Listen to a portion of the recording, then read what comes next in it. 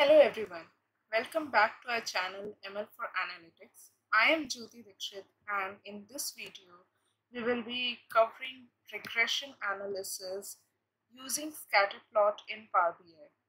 So regression is another hot topic in machine learning.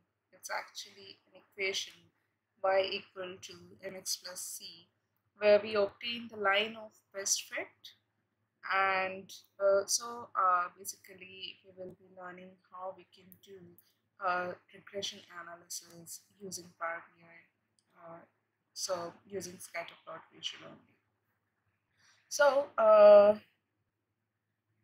by the end of this video you will learn you will be able to basically come out with this kind of chart uh, and you will be able to obtain correlation coefficient and of coefficient of determination and all these things basically. So uh, what I had done is uh, again I am using uh, a stock a dummy stock data set of many years actually. It has multiple tickers and it has uh, uh, uh, the, the analysis we will be doing it has like uh, open prices on x-axis and close prices on y-axis and we will be learning uh, about their relationship only uh, like what effect open price has on close price. And uh, so uh, for now what we can do is we can remove them open and close column so that we can start this from scratch so I'll actually drag open column from here and I'll drop it to this x-axis field. And I'll do the same with close but I'll drop it in the y-axis field. Okay so again since it's uh, it has applied some aggregation over here uh, we are getting just one data point. So we have to select don't summarize in this case and okay. So this is done. And you will be able to get this plot uh, in this case. So uh, okay. What uh, is done is uh, now I'll remove trend line. So this is the plot that I have with just two variables in x-axis and y-axis field now I want to obtain the regression line for my plot as in I want to obtain the line of best fit.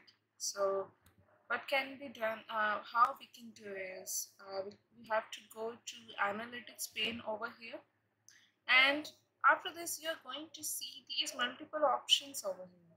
You're going to see trend line, x-axis constant line, y-axis constant line, symmetry shading and all these things.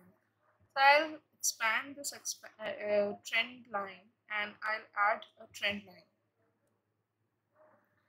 And you are going to see this uh, dashed line over here.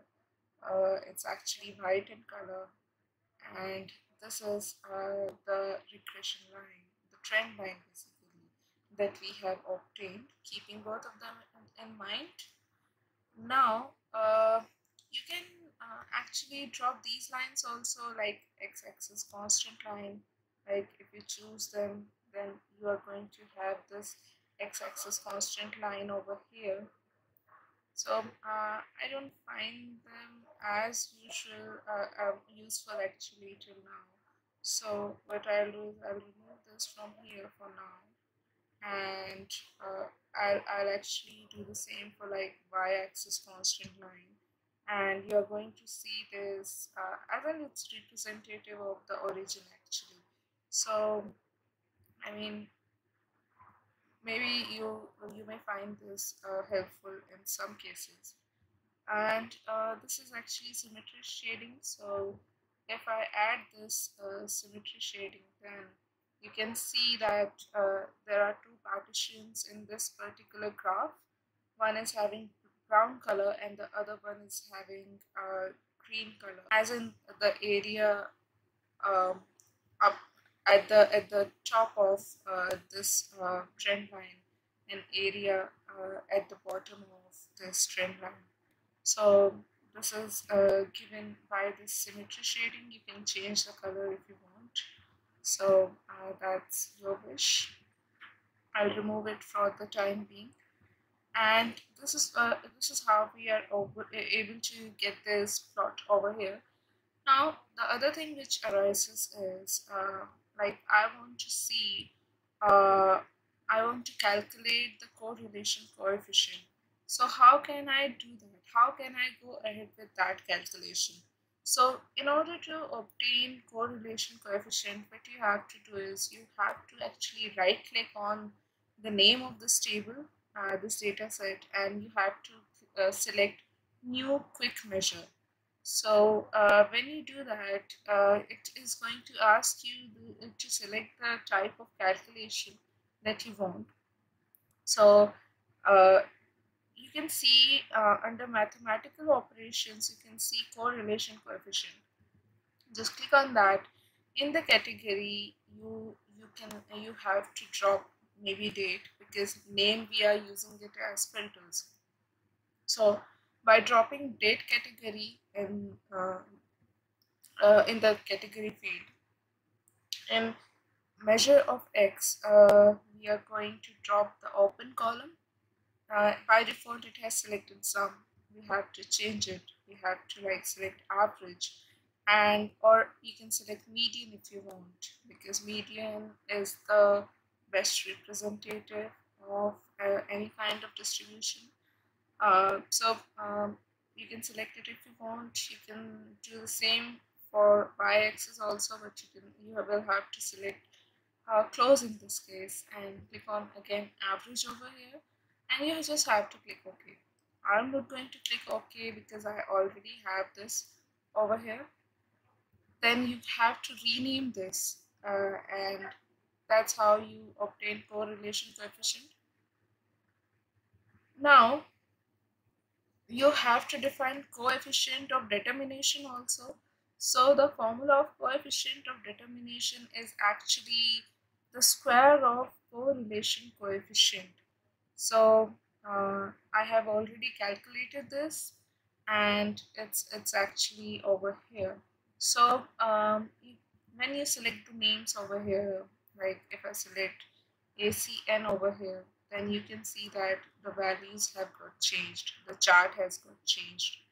Uh, so and I can select any other value also. I can select like ASDK if I want and this is ASDK for me and AMD if I want to select AMD then this is the value of AMD so um, if I want to select like multiple uh, this thing multiple tickers then that can also be done. And again you are going to get the values of correlation coefficient of, and coefficient of that determination accordingly. So guys uh, with this I conclude this video uh, so in this video we learned how to uh, do regression analysis using scatter plot in Power BI, how to obtain correlation coefficient, how to obtain co coefficient of determination. So one thing that we have to note uh, is that it is use useful in case of uh, univariate regression. But when it comes to multivariate regression, then we have to use uh, we, we have to uh, take care of this. We have to use our languages in that case. Or we have to like maybe we can do some some form of principal component analysis maybe dimensionality reduction and just uh, choose one piece one principal component and then we can do this analysis and all. So because uh, we don't have uh, charts for like multivariate regression in Power BI we have charts for bivariate analysis uh, BI. So we have to keep this in mind.